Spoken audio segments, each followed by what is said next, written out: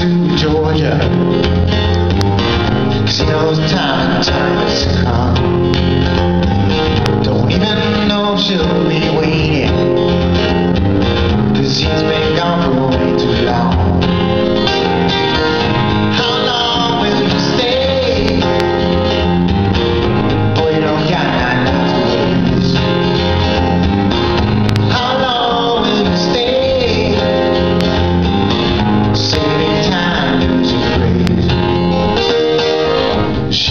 believed every word he told her